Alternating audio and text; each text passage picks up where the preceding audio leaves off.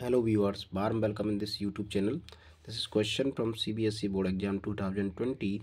point a by 8 comma 4 is the midpoint of the line segment joining the point a minus 5 comma 2 and b 4 comma 6 then the value of a is so student here are two point a and b whose coordinates are given minus 5 comma 2 and uh, 4 comma 6 in point P is the midpoint which is a by 8 comma 4 so this is the midpoint.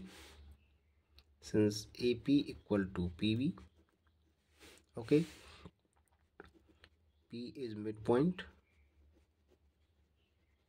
So coordinate of midpoint is x equal to x1 plus x2 by 2 and y equal to y1 plus by 2 by 2 so here we want to find out x a by 8 here x1 is 5 and x2 is 4 by 2 so this is minus 1 by 2 so a by 8 equal to minus 1 by 2 so 2 4 is 8 therefore a by 4 equal to minus 1 or a equal to on cross multiplication we got minus 4 therefore value of a is minus 4 so i hope you got it. Please like the video subscribe the channel. Thanks for watching